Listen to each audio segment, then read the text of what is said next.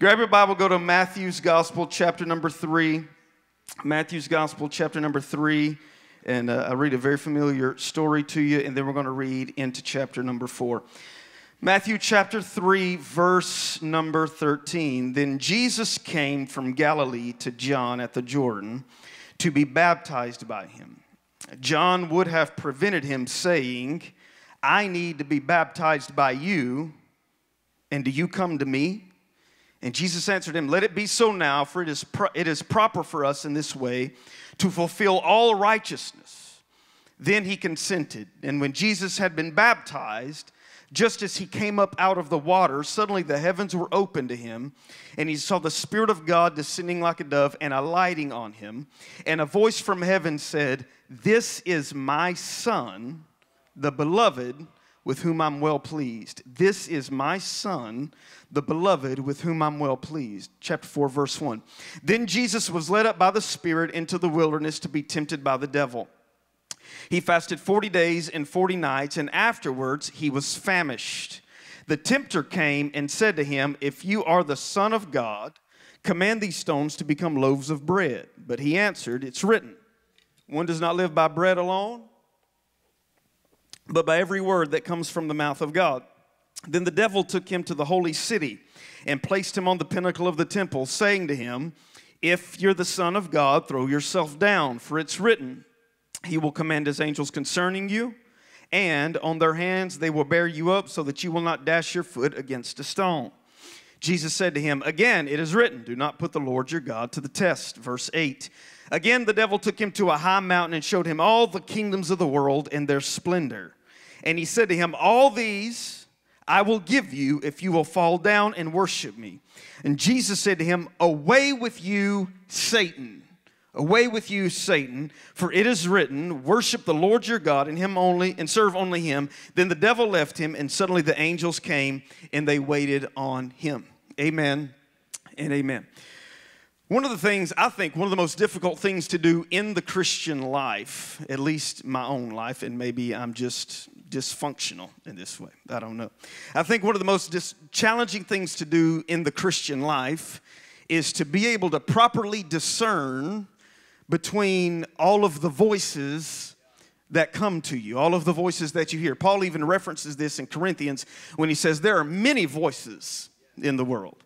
One of the most challenging things to do is to be able to discern between those voices, to be able to discern between the voice of God and sometimes even the voice of our own conscience. Those are not always the same thing.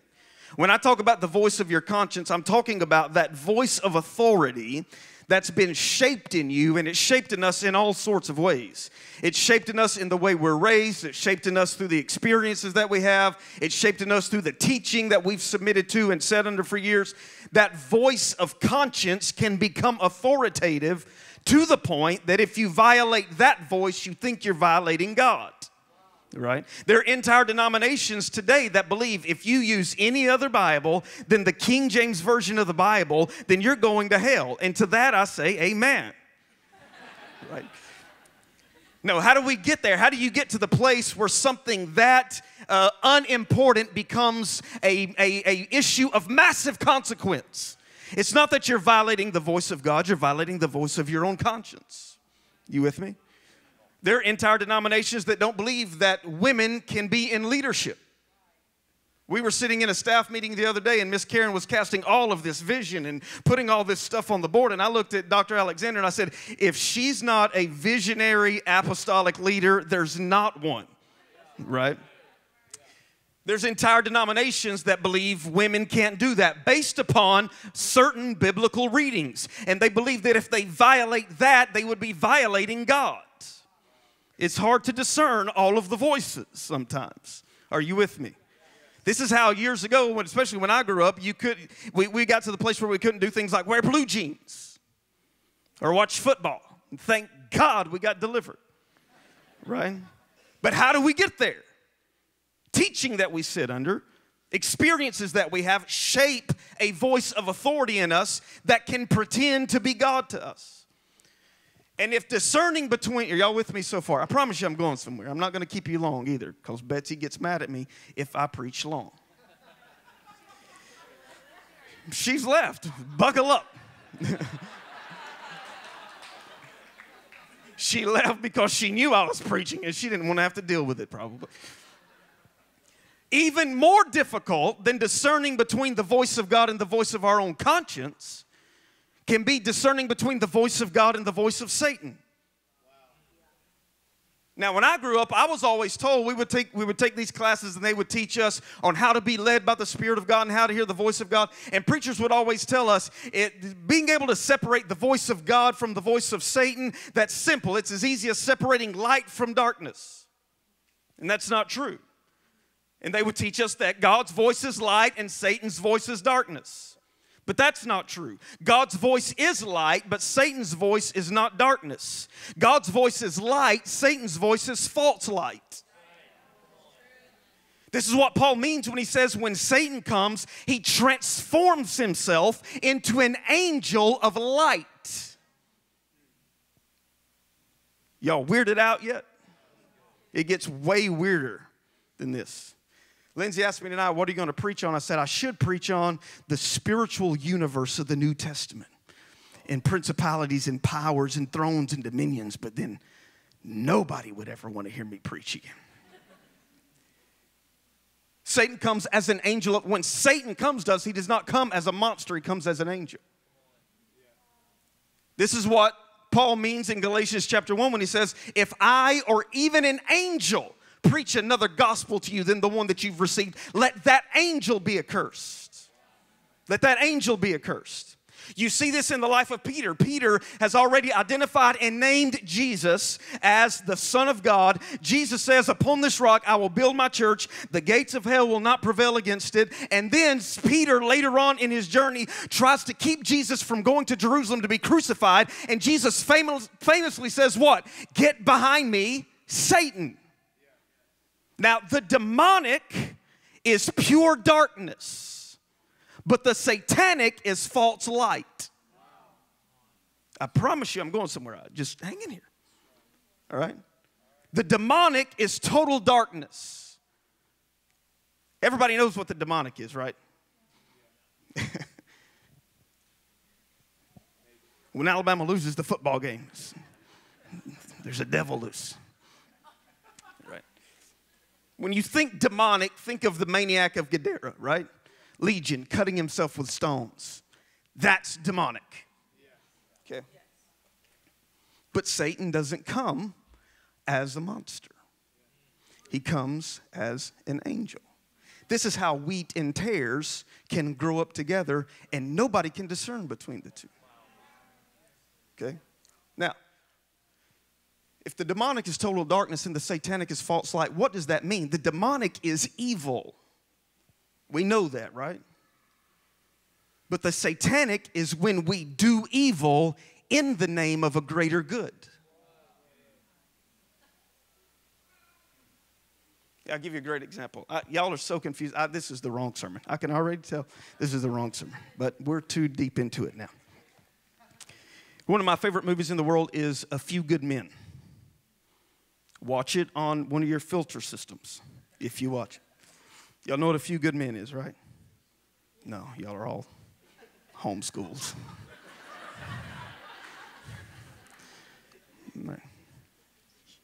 I want the truth. You can't handle the truth. Oh, never mind.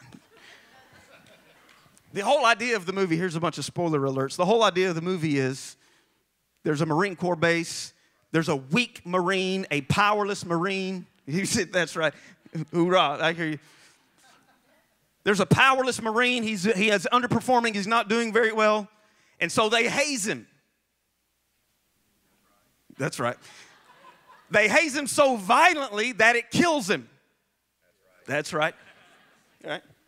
And at the end of the movie, they're being tried in front of a courtroom, and the general says, I know his death is tragic, but even in us killing him, we saved lives. We did evil in the name of a greater good. Right? I promise you, I'm going somewhere. Hang in here. That's the satanic. Being wounded is one thing, wounding another to prevent being wounded is satanic. All right?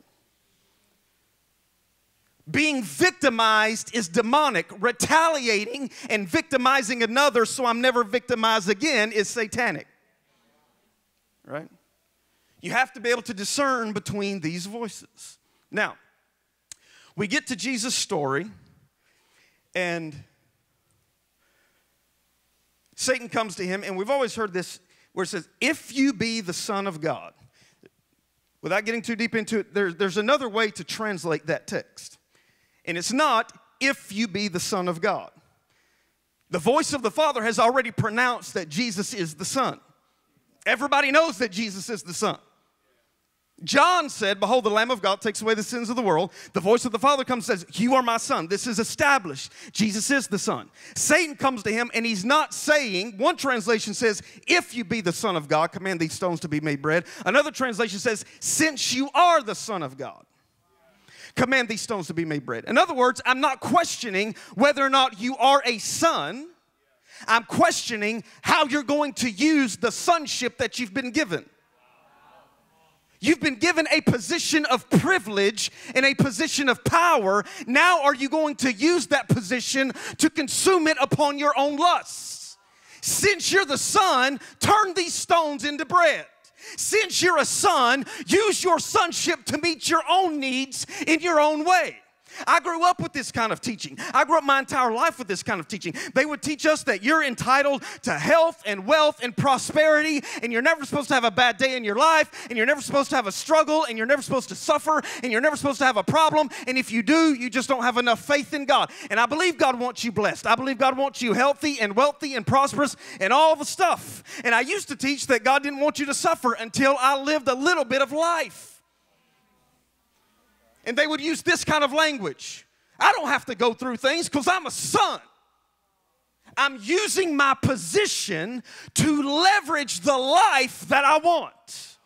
And that is not what sonship is for. That's not what sonship is for. Since you're the son, command these stones to be made bread. Since you're the son, throw yourself down off of the temple. The angels will catch you. Since you're a son, start believing that you are protected from the vulnerability that comes with being human. Sometimes when people are suffering, they feel so condemned because they believe sons and daughters of God don't go through this. They most certainly do. Our faith celebrates not heroes, we celebrate martyrs. We celebrate whose people's whose lives were cut short. We celebrate people that were murdered in their early 20s who could have lived 60, 70 more years had they not obeyed God. Our, our faith is not a faith full of heroes. You with me? Throw yourself down off the temple. I remember I grew up in the Word of Faith movement. I had a guy tell me this one time. He said, if Christians are suffering, it's because they're stupid. Don't that make you feel, ah, Man, thank you, Pastor. Nothing like a word spoken. Proverbs says a word spoken in season. How good is it? It's like an apple set in a fitting of silver. Because he believed that if you knew enough Bible, you could take the Bible and use it like a gun to God's head and get the life that you wanted. Right? Now, I want you to, I want to make clear I believe God wants you blessed. I believe God wants you blessed. We need you to be blessed. Have you heard all the vision? Somebody's got to pay for that. God wants you blessed. He wants me blessed. He wants, he wants us healed. He wants us whole. Okay? But not because we're sons and we leverage it to our benefit. Even Jesus said, It rains on the just and the unjust. I'll feed the sparrows even if they don't sow. Sonship is not about leveraging power to get your way and to get your life. And then Satan tempts him again with something that's profoundly, profoundly deeper. He says, Listen, if you won't turn these stones to bread, since you're the son, I will give you all of these kingdoms.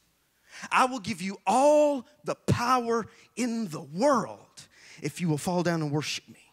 And Jesus rejects power Because sonship is never about wielding power.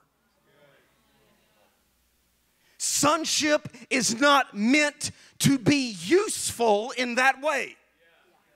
I, was listening to somebody a political figure speak, and whoever your political figure is, I could not care less. It wasn't whoever yours is. I promise. All right. So simmer down. I was listening to this political figure speak, and they were getting, they were giving this speech, and they were, you know, you know, stirring it up. You know, phrases like, "They're taking over," whoever that they are. They're taking, and they said this. They said, "We know that Jesus says, turn the other cheek, but so far that's gotten us nowhere."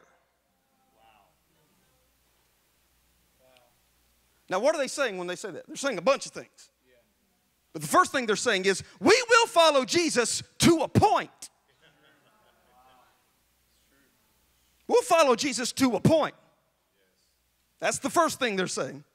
The second thing they're saying is that point ends when Jesus stops being useful for what I want. But Christianity is not useful. Jesus isn't useful. Sonship isn't useful. It is so quiet in here. That's why when Jesus is tempted by Satan with power, Jesus rejects it. No, I don't deserve to be in power and run things around here because I'm a son. You know, the earliest Pentecostals, we, we, we talk about, Miss Karen shared this the other day about her upbringing and all of the good from the previous Pentecostal world that we need to embrace and keep. The earliest Pentecostals, some of their, some of their lifestyle, the reason they abstained from things like football games and br- brushing your teeth, I don't know. I mean, all the stuff that they abstained from, right? The reason we did that is because they had an identity. And their identity was this we are from another world, we are otherworldly. We're not a part of this system. We're not a part of this world. It had a pure motive behind it. It might have been, it might have been misconstrued and misguided in some of those, but it had a pure motive behind it. We are not of this world. We are in this world, but we are not of this world. Now, it had its extremes and its excesses, but we rebuked that and we overcorrected. And this is how we overcorrected. We went from not being of this world, not being of this system, we overcorrected to now we are an invading force called to run everything. There's elaborate teachings on how Christians should be set up in all of these spheres of authority and advance the kingdom through power, specifically political power. And this is the very thing that Jesus is tempted with and the very thing that Jesus rejects. We're not called to be so disconnected from the world that we are of no use, nor are we some invading, advancing army going to break people into serving Jesus. We are sons and daughters that are called to serve our neighbor the life of God that He has given us. You with me?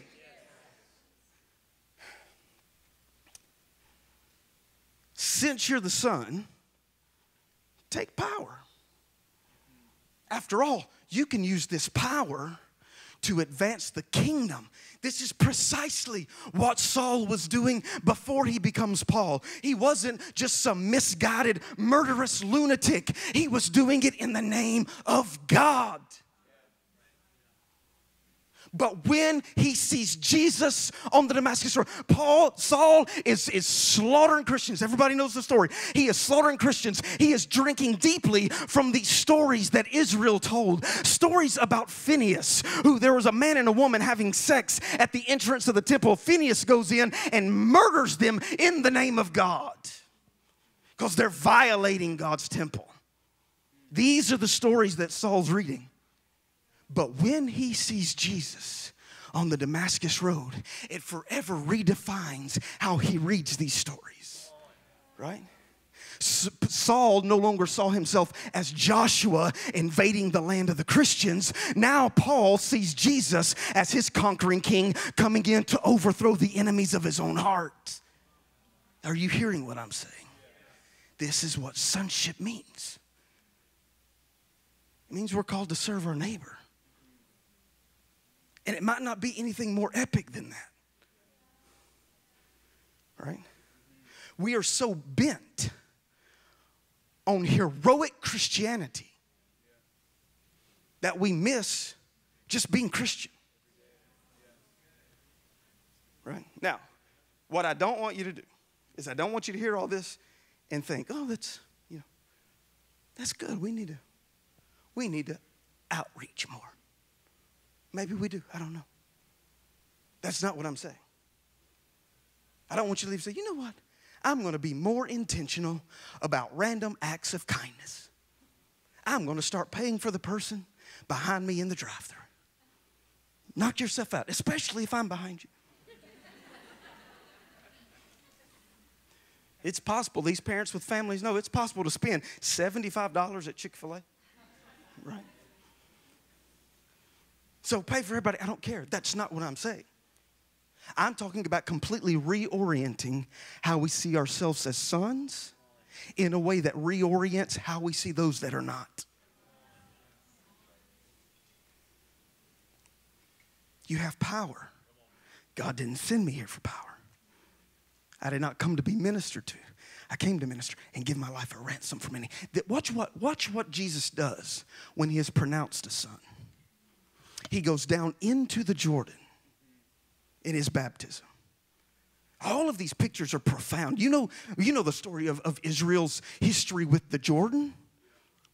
Joshua leads the children of Israel out of the wilderness, through the Jordan, into the promised land.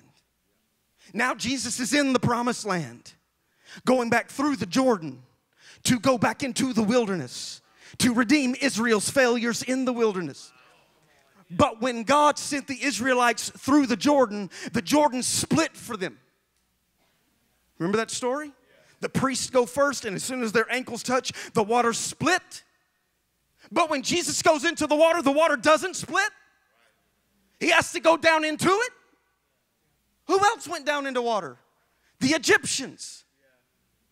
Because Jesus was not just doing this for Israel, he was also doing this for Egypt. He was not doing what he was doing just for God's friends. He was doing what he was doing for God's enemies too. It is easy to love the people in this room. What really proves our Christianity is how we treat the people that are the most unlike us. That's what sonship is. I'm going to go down into the waters of your suffering. This might be uh, this is probably the most controversial thing I say all night right here. You ready? And like I said, you are free to ignore me. I ignore myself half the time. Our relationship with God is most Christian when we are more concerned about others' relationship with God than we are our own. Paul says this in Romans. I would rather be cut off from Christ if it means my brothers Israel could be saved. Think of that. Because what it means to be a son is that I'm giving my life for the sake of the world. Miss Karen alluded to this earlier tonight. The reason worship, as we worship God, we are caught up and she begins to prophesy about an addiction center. Because God's chief concern is others. And the more we are drawn up into Him, the more we partake of His divine nature, and He immediately turns our attention somewhere else. God doesn't even want the attention to stay on Him. This is what the Calvinists get so wrong. They claim that God's chief end is his own glory. And God is not concerned with his own glory. God is humble. God doesn't have ego. Are y'all okay? I'm almost done. I would rather be cut off from Christ. As we are drawn up in him, he turns our attention elsewhere. He doesn't even want our attention to stay on him. The more we go pursue Him, the more He turns our eyes outward. The more we go after Him, the more He turns our eyes outward. There was a great, a great author, I won't tell you his name, I will. His name is St. Bernard. The saint word trips everybody up. He said, Every Christian is in need of two conversions. Their first conversion is they are converted from the world to God. And as they sit at his feet, they go through another conversion where now they are converted from God back to the world. Again, this is not, this is beyond you paying for somebody's Pizza Hut. And do that, especially if it's mine. I'll t- tell you the story. There's, I was at a class in Florida, and the professor was teaching along some of these lines. And he was talking about this kind of this kind of life lived living being poured out for the sake of others. And he was teaching this and the class ends and we leave and we come back the next day for class. But after we left that first day, a young lady walks in and she tells a story. As he was teaching about this, she walks in and she tells a story.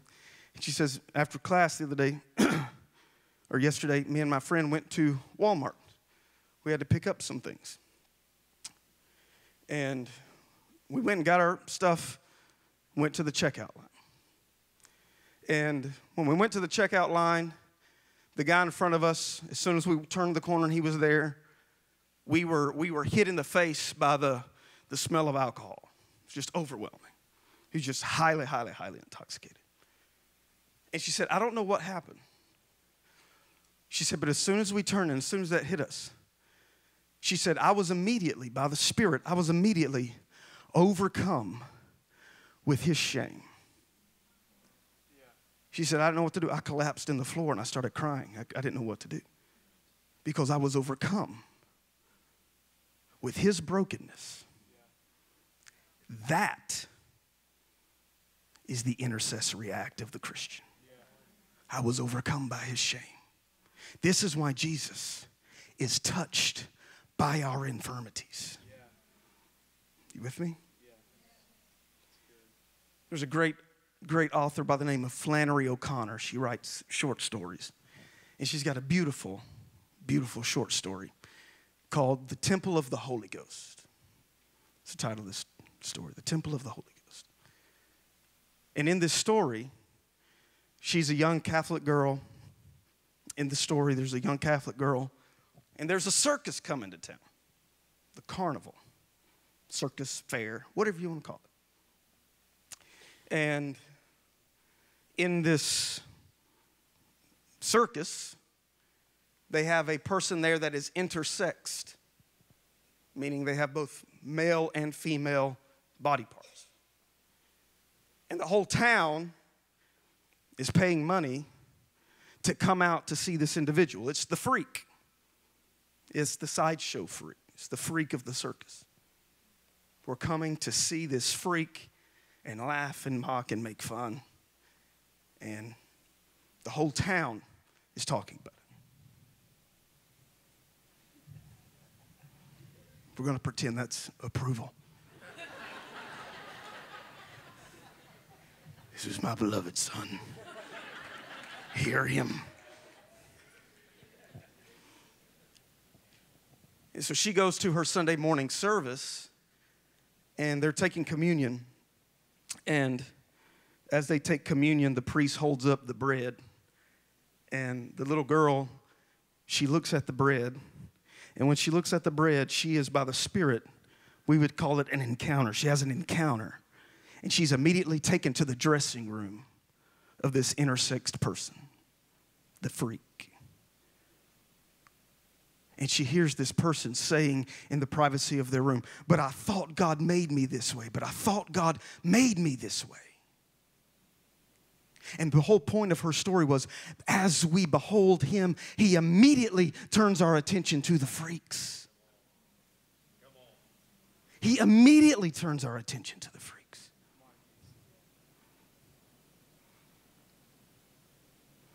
This was part of the difference in the early Pentecostal world when they started teaching that tongues is the evidence that you've been filled with the Holy Ghost. And William Seymour stood up and said, There's no way that's true. William Seymour from Azusa said, Tongues is not the sign of the Holy Ghost, love is the sign of the Holy Ghost. Because all of these white people are speaking in tongues and they won't even let me sit in the same room with them. There's no way God's at work in their life when they can't turn their attention toward me. That is what the Father calls sonship. When you die the death in the water of others not power, not using it as leverage. I preach way too long. Not using it to meet your own needs.